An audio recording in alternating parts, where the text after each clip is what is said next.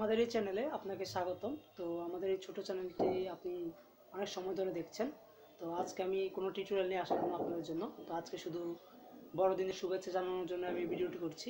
তো আপনাদের সবাইকে বড়দিনের শুভেচ্ছা, যারা যারা আমার চ্যানেলের সাথেই রয়েছেন।